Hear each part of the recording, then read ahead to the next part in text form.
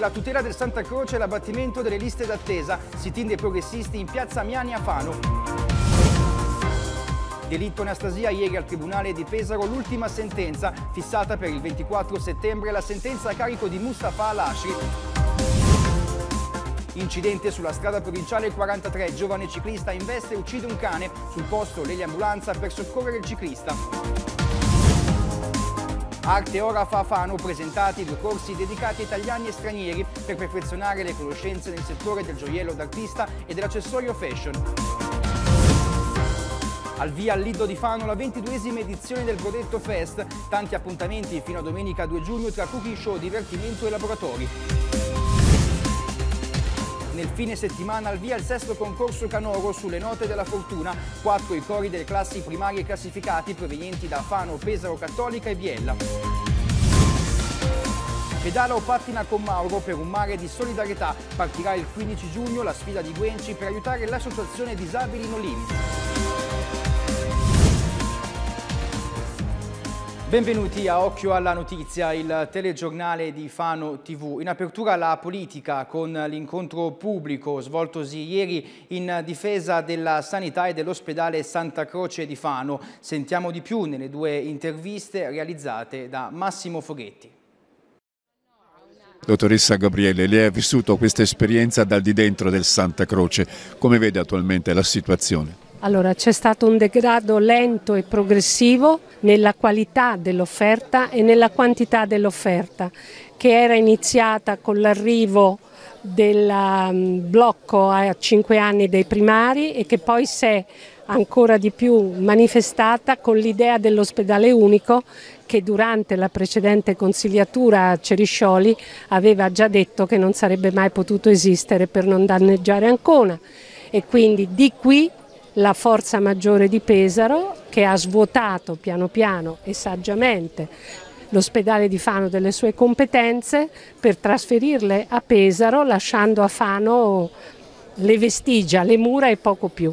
Poi naturalmente è arrivato un centrodestra, destra-centro come vogliamo dire, che sulla falsariga di quello che aveva voluto la precedente amministrazione di sinistra ha potuto dire bene si fa un unico ospedale a Pesaro con posti letto aumentabili, potenziamo grandi ospedali quali quelli di Pergola e di Cagli a detrimento di Fano. Dottor Carlo De Marchi, esponente storico di Bene Comune, a suo tempo ha combattuto anche l'ospedale unico la responsabilità della Regione Marche. Ora, questa situazione che costituisce la novità del progetto regionale, come viene valutata? Ci troviamo di fronte a una realtà che era stata determinata dalle giunte Cerisoli eh, e prima ancora dell'altro assessore, che avevano portato a fare questa scelta che noi sin dall'inizio nel 2009 abbiamo in qualche modo cercato di spiegare più che di ostacolare, che era, era in qualche modo non corretta sia dal punto di vista territoriale perché era uno spazio che non teneva conto che la vallata veniva sguarnita, non teneva conto dal punto di vista economico perché c'era stata la, la, proposta del project financing, se ci pensate che avrebbe portato questo costo di questo ospedale a quasi un miliardo, così come non c'era un piano anche che teneva conto che una volta che io chiudo una serie di piccoli ospedali nel territorio consapevolmente la necessità di innovazione da un punto di vista delle tecniche mediche, delle tecniche terapeutiche, però sguarnivi un territorio di quello che era la, la, il rapporto diretto e territoriale, una continuità terapeutica nel territorio che si trovava improvvisamente sguarnito. Così poi è avvenuto. La chiusura degli ospedali non, stati, non sono stati sostituiti da nulla. Il problema qual è? Che una volta che il centrodestra, anche a seguito delle manifestazioni che i movimenti e le associazioni in quegli anni hanno fatto in, in tutta la provincia, il centrodestra arrivato in regione applica questa nostra idea che avevamo detto di sospendere nei limiti del possibile il progetto dell'ospedale unico, ma di fatto non cambia nulla. La sanità è ancora alla ribalta di questa campagna elettorale, la Fano che vogliamo ha affrontato questo problema in un flash mob nel pieno corso cittadino. Il passeggio viene attratto da questi manifesti che sono alle nostre spalle. Gianluca Cespuglio, qual è la sanità che vuole, la Fano che vogliamo? Beh, innanzitutto una, una sanità che mantenga l'ospedale Santa Croce a Fano senza se e senza ma Questa iniziativa è stata mossa da, dalla gente che in questi giorni sente tante tribune, tanti dibattiti, ma ci sta capendo poco. Purtroppo noi stiamo perdendo la nostra sanità fanese e questi cittadini devono capire che è molto importante muoversi adesso per fare che si salvi, insomma, che sia presente. Un'iniziativa voluta anche da tutti i lavoratori, sia eh, diciamo, infermieristici che primari dell'ospedale, che purtroppo non possono esporsi e questo è un, è un, grave, è un, grave, un, è momento molto brutto perché pur tenendo al proprio ospedale, al proprio luogo di lavoro, non possono dire la loro. Dunque ci abbiamo messo noi la faccia molto volentieri e speriamo che la cittadinanza di Fano recepisca questo messaggio. Dobbiamo lottare per mantenere il nostro ospedale a Fano. Michele Mattioli dell'Alleanza Verdi Ribella è intervenuto sulla variante di Gimarra attaccando Fanesi e dando la sua ricetta per migliorare la viabilità. Sentiamo. Siamo proprio di fronte alla fine dell'interquartieri, eh, la fine di un progetto che l'assessore Fanesi ha portato avanti con testardaggine, infischiandosene del parere dei cittadini che non volevano affatto che l'interquartieri terminasse sulla nazionale andando a distruggere gran parte delle colline di Gimarra, un'area verde a cui i fanesi tengono molto. E lui non è riuscito in questo intento, ha perso 20 milioni di euro che se non si fosse intestardito sarebbero potuti essere utilizzati per altre parti della città, per esempio per Fano Sud o anche per provare a cominciare a collegare le, i due casellini che eh, entreranno in funzione eh, di qui a poco e che speriamo possano aiutare la circolazione verso Pesaro. Di sicuro non l'avrebbe aiutata eh, il, eh, la fine dell'interquartieri che sarebbe giunta a qualche centinaia di metri da Gimarra sulla nazionale. Occorre però trovare una soluzione all'isolamento di Gimarra, un quartiere nato male che ha l'obbligo per i residenti di finire sulla eh, nazionale, ma che invece con un eh, passaggio sull'Arzilla potrebbe collegarlo con la zona della trave. Questo darebbe a loro la possibilità di sentirsi meno isolati e di collegarli di più con il centro della città. E in occasione delle elezioni comunali dell'8 e 9 giugno, vi ricordo che mercoledì 5 giugno trasmetteremo in diretta dai nostri studi il confronto finale con i tre candidati a sindaco della città di Fano, Cristian Fanesi, Stefano Marchegiani e Luca Serfilippi. Appuntamento sul canale 19 di Fano TV il 5 giugno dopo le ore 21. Ora la cronaca si è svolto ieri al Tribunale di Pesaro l'ultima udienza per l'istruttoria del processo che vede Mustafa Al-Ashri accusato di omicidio volontario aggravato nei confronti della moglie Anastasia. Quest'ultima, una giovane mamma 23enne, era stata uccisa con 29 fendenti il 13 novembre 2022 in un'abitazione a Fano. Ieri è stato ascoltato il medico che ha visitato Mustafa in carcere a Bologna e per il prossimo 24 settembre 2022 2024 è prevista la sentenza. Un incidente si è verificato nel tardo pomeriggio di mercoledì lungo la strada provinciale 45 tra località Magiotti e Fenile, a cavallo tra Pesaro e Fano. Un giovane ciclista che si stava allenando con il resto della squadra ha colpito un cane di taglia media portato in quel momento a passeggio regolarmente al guinzaglio dalla sua proprietaria. Per l'animale colpito non c'è stato nulla da fare, mentre per il ciclista, un ragazzo fanese, è stato necessario necessario l'intervento dell'eliambulanza per il trasporto ad Ancona. Sul posto è intervenuta anche la polizia locale. Una sofisticata rete di frode fiscale con epicentro a Catania è stata smantellata dalla Guardia di Finanza nell'operazione denominata Alto Livello. L'operazione ha portato all'emissione di due ordinanze eh, cautelari che coinvolgono 16 persone dislocate in diverse città italiane come Catania, Siracusa, Ragusa, Enna, Palermo, Milano, Brescia, Roma e Pesaro. Nella città pesarese, così come in altre città, sequestrati beni, quote eh, societarie e disponibilità finanziarie finanziarie. L'inchiesta, coordinata dalla DDA, Direzione Distrettuale Antimafia della Procura di Catania, vede complessivamente 33 persone indagate. Il sistema fraudolento, bloccato dalla Guardia di Finanza, sfruttava in maniera illecita i vantaggi normativi legati al distacco di personale previsti per i contratti di eh, rete tra imprese. I reati a vario titolo contestati sono emissione di eh, fatture per operazioni inesistenti, eh, infedele dichiarazione dei redditi, ma anche associazione a delinquere e autoriciclaggio e riciclaggio di denaro di origine illecita. Si svolgeranno domani, venerdì 31 maggio, alle ore 15, presso la parrocchia Santa Maria Annunziata di Morciola, i funerali di Simone Mezzolani, l'operaio 33enne che ha perso la vita a causa di un incidente sul lavoro in una fabbrica di eh, Petriano. Cambiamo argomento, la foto che mostriamo in questo momento è di un telespettatore che segnala la presenza della ghiaia alla foce del torrente Arzilla. In caso di piena, ha scritto il telespettatore, la ghiaia andrebbe ad ostruire il deflusso dell'acqua, è necessario un intervento. In prefettura Pesaro nei giorni scorsi sono stati premiati gli studenti che hanno descritto le bellezze del territorio durante le giornate FAI a partecipare al progetto oltre 400 studenti di 24 scuole. Per ringraziare il FAI perché questo è il terzo anno gli studenti degli istituti scolastici della provincia di Pesaro Urbino, protagonisti delle giornate FAI di primavera.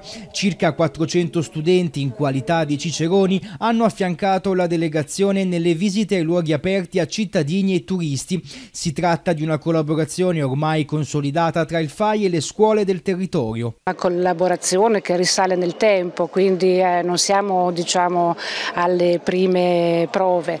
Eh, sicuramente Ehm, è nato in seno al FAI nazionale e noi ultimamente ehm, facciamo sempre riferimento al Covid, quindi nel post-Covid ci siamo ripromessi di fare ridecollare appunto questa esperienza.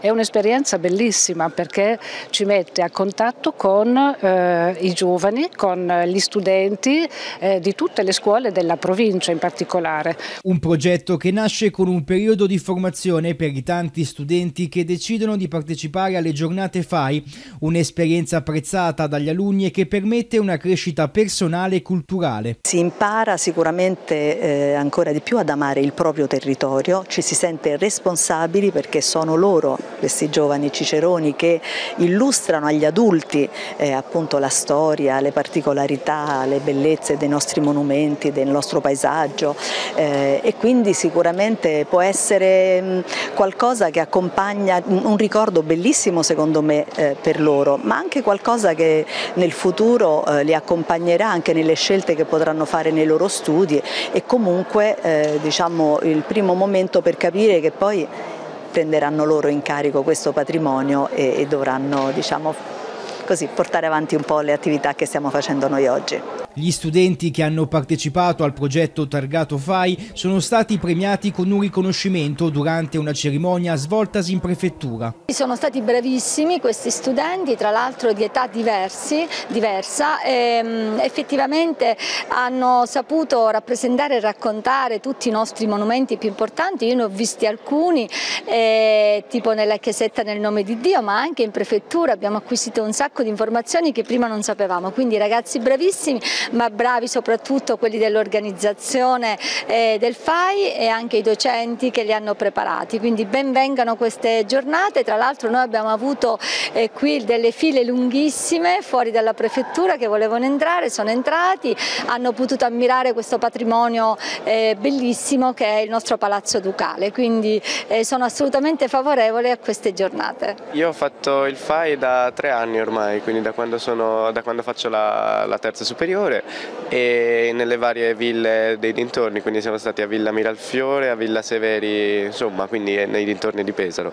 E quest'anno faccio il quinto anno, quindi forse l'ultima, ma forse continuerò come volontario FAI. È bello parlare fin da bambini agli altri di cose che abbiamo nei nostri luoghi, quindi eh, è importante saper parlare di cose fin da bambini eh, da noi sono venuti appunto a chiedere chi è che volesse partecipare a questa esperienza.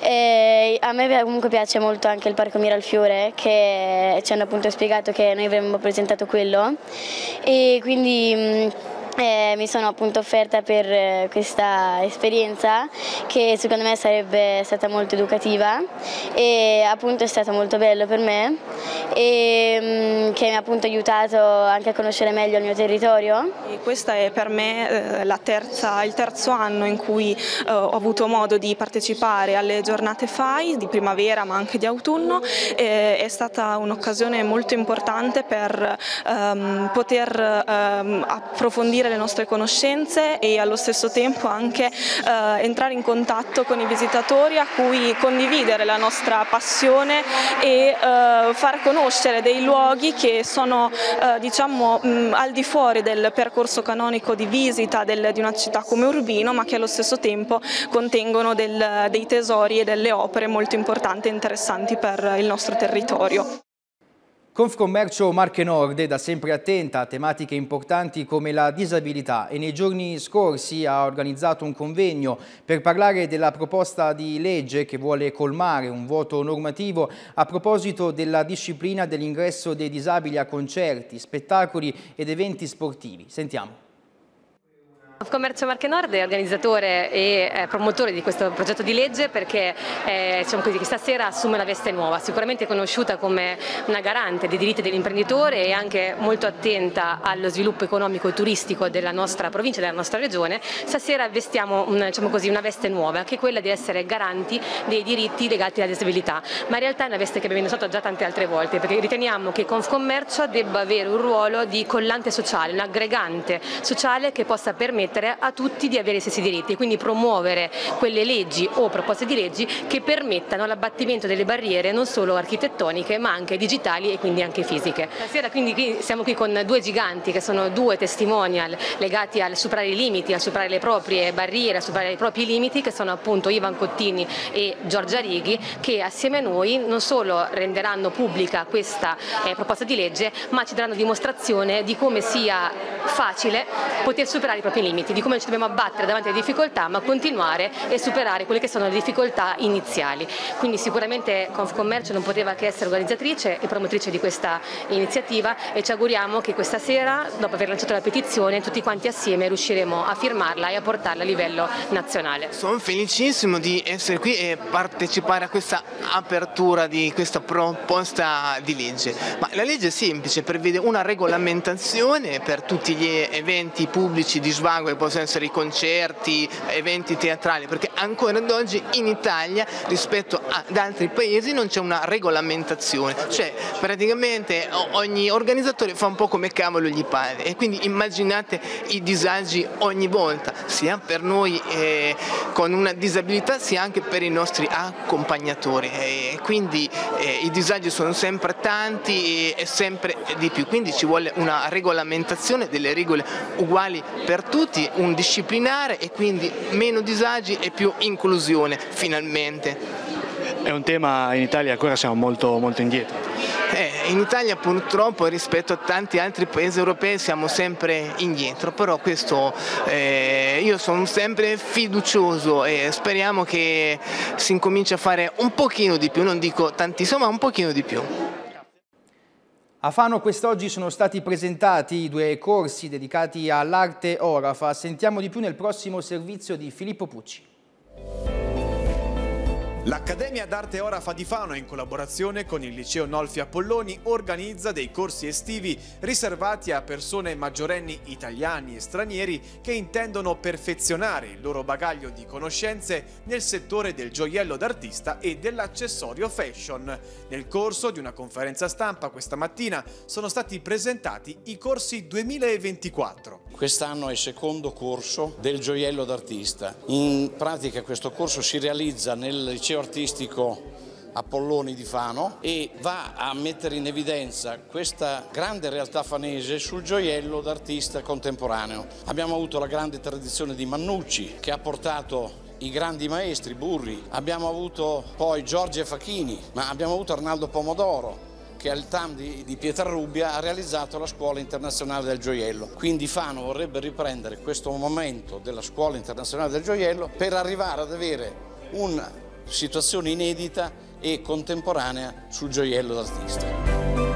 Due le serie di lezioni che quest'anno si svolgeranno, il primo dall'8 al 13 luglio con il corso base Experience. Anche quest'anno andremo a ripetere l'esperienza positiva dell'anno scorso, quindi dall'8 al 13 luglio faremo un workshop, un corso Experience per i ragazzi che escono dalla scuola d'arte, quindi neodiplomati che vogliono approcciarsi al mondo del gioiello, approfondire le tematiche del gioiello artistico, quindi andremo a vedere e a conoscere la storia ora fafanese e a provare proprio a mettere in pratica quelle che sono le tecniche artistiche, artigianali che abbiamo sviluppato a Fano.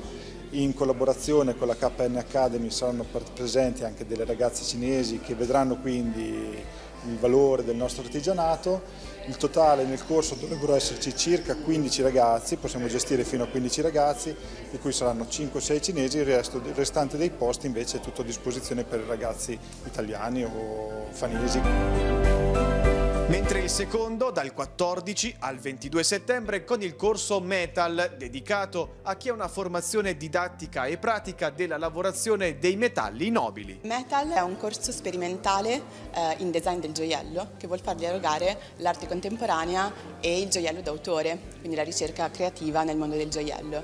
Eh, sarà presente un guest artist sulla cui opera i partecipanti del, del corso dovranno eh, ideare e poi creare un gioiello ehm, verranno utilizzate molte tecnologie innovative contemporanee sia nella creazione che nell'ideazione del gioiello. Eh, quindi ci sarà in, in gioco l'intelligenza artificiale, le visual arts, eh, la stampa 3D e poi la creazione in laboratorio dei gioielli ideati dai partecipanti.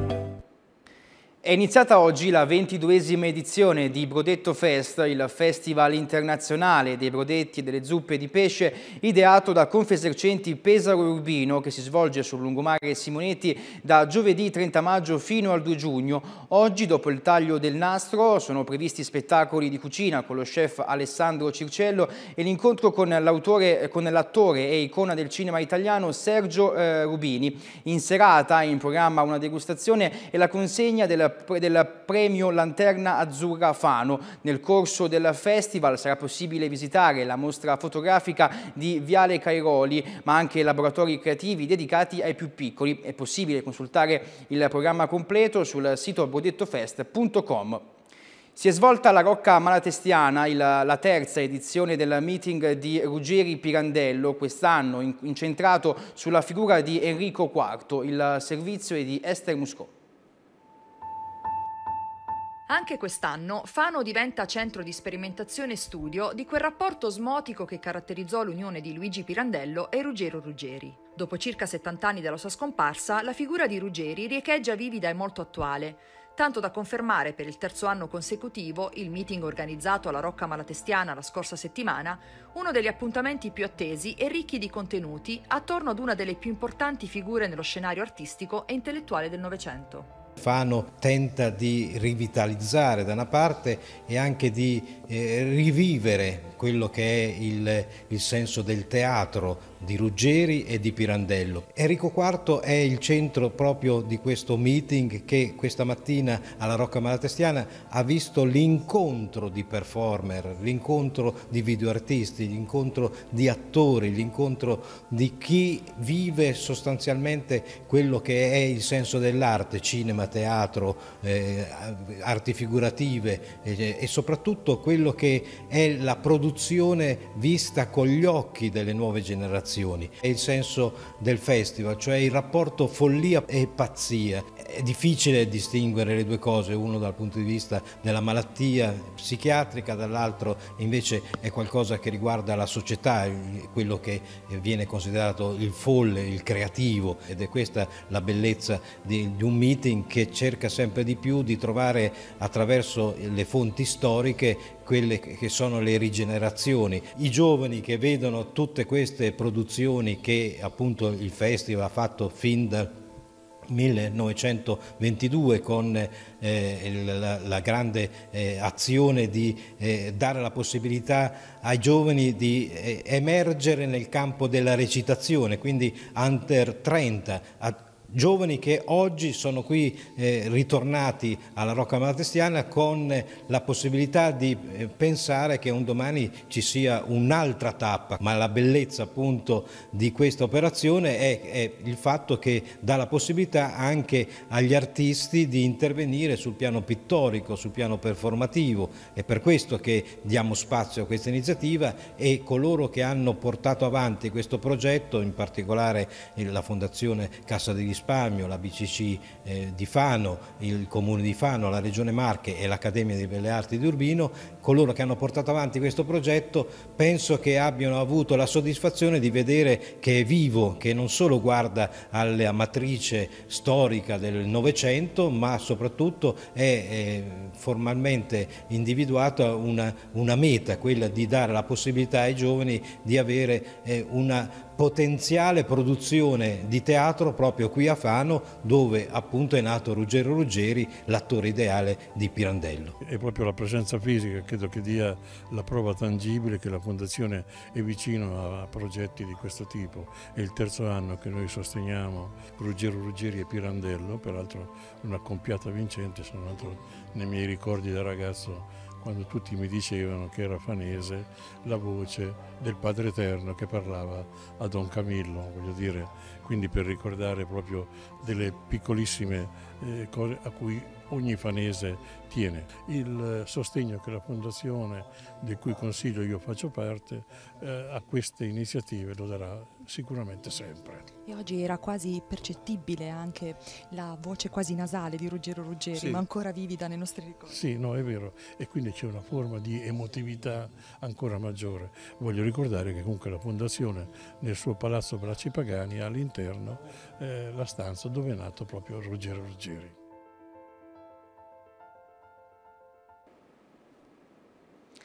Si svolgerà l'1 e il 2 giugno al Teatro di Fano il sesto concorso canoro sulle note della fortuna. Quattro i cori delle classi primarie classificati provenienti da Fano, Pesaro, Cattolica e Biella. Organizzato dall'Associazione Tra le Note, torna a Fano il concorso sulle note della fortuna, arrivato alla sesta edizione. L'evento musicale si svolgerà l'1 e 2 giugno ed è un corso canoro nazionale per cori delle scuole primarie che, dopo aver presentato un brano inedito, sono state selezionate da una giuria qualificata formata da Elisa Ridolfi, Andrea Alessi, Paolo De Lorenzi, Francesco Gazzè e Massimiliano Fiorani. L'appuntamento si svolgerà al Teatro della Fortuna. Il concorso ospiterà quattro cori che risultano già vincitori e, e sono il coro i Leopardini di Pesaro, il coro Voci di Corridoio della eh, Scuola Gentile, il coro Incantare di Cattolica, il coro eh, di Bologna che appunto risultano vincitori di una borsa di studio e eh, vincono la partecipazione alla finale del concorso. Il concorso nasce e cresce in collaborazione con la Fondazione Teatro, ha il patrocinio e la compartecipazione della Regione Marche ed è in collaborazione con il Comune di Fano nei vari assessorati alla cultura, al turismo, ai servizi educativi, cremi, eccetera. Eh, unico in Italia il concorso vanta ehm, l'accompagnamento la, musicale dei cori da parte di un'orchestra giovanile che è la Mosaico diretta dal maestro Gian Gambini. La manifestazione verrà trasmessa in diretta tramite il canale YouTube dell'associazione sia a tutta la città ma soprattutto poiché i posti sono limitati sia per i bambini che occuperanno tutto il teatro ma anche per gli accompagnatori che occuperanno tutto il cinema teatro Politeama appunto in diretta sul canale YouTube dell'associazione per cui seguiteci. Ci spostiamo a Sorbolongo, una frazione di Sant'Ippolito dove sabato e domenica torna la sagra della Lumaca, giunta alla 49esima edizione. Sentiamo i dettagli nella prossima intervista. Quest'anno 49esima edizione della sagra della Lumaca e 10 anni della tua presidenza. Sì, ci siamo, siamo arrivati alla 49esima edizione di questa sagra della Lumaca con i miei 10 anni da presidente e Dai, è stata una decisione un po' difficile, ma con la grande partecipazione del, che abbiamo avuto l'anno scorso non potevamo che non ripeterla. Deborah, anche quest'anno un ricco programma a base di cultura gastronomica, ma non solo. Sì, abbiamo i nostri stand con eh, un ricco menù, sia a base di lumache ovviamente, ma eh, cerchiamo di accontentare un po' tutti i gusti, quindi tutti i prodotti del nostro territorio. E poi avremo anche tante animazioni dal, da dei gruppi, eh, abbiamo le orchestre, abbiamo il DJ, abbiamo un altro gruppo eh, sempre che su nel castello e abbiamo anche tanti intrattenimenti per i bambini e anche per gli adulti. Abbiamo un laboratorio di Creta, quindi un po' per tutti i gusti. Anche quest'anno è previsto un servizio di navetta? Sì, abbiamo un bus navetta che ci accompagnerà proprio sotto il castello. Quanto è importante per la riuscita di un evento come questo la mh, forza di una comunità e di tutto il volontariato che è dietro a questo evento? Ma è fondamentale soprattutto nei paesini come i nostri che le forze sono sempre minori e quindi dai, con la collaborazione di tutti riusciamo a portare avanti queste manifestazioni. Qual è l'ingrediente segreto di successo di questo evento? Posso dirlo, essere un pochino folli perché comunque implica tanto impegno e sicuramente tanta passione e amore per il proprio paese. Ricordiamo le date? 1-2 eh, giugno, vi aspettiamo che offriamo anche un bellissimo panorama. E adesso vi raccontiamo della sfida di Mauro Guenci di Senigallia che eh, pattinerà per ben 1300 km attraversando varie regioni in compagnia di coloro che vorranno unirsi a lui in questa avventura. Il ricavato dell'acquisto della maglietta ufficiale sarà devoluto in beneficenza ad un'associazione che si occupa di disabilità. A realizzare il logo uno studente del Polo 3 di Fano, Simona Zonghetti. Una sfida personale che è diventata una sfida della solidarietà dove tutti gli amanti dello sport, del ciclismo, del pattinaggio possono essere protagonisti. Come è nata l'idea e che cosa prevede questa avventura?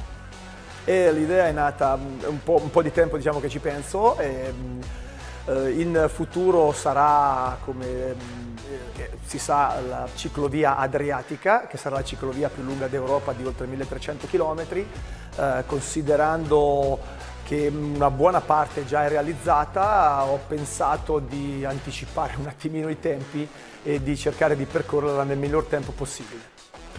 E come si svilupperà questo progetto? Quando partirà? La, la, partenza è prevista per il 15 giugno da Trieste, Piazza d'Italia, e per giungere a Santa Maria di Leuca, sempre costeggiando possibilmente tutta la riviera adriatica dove c'è la maggior parte della ciclovia.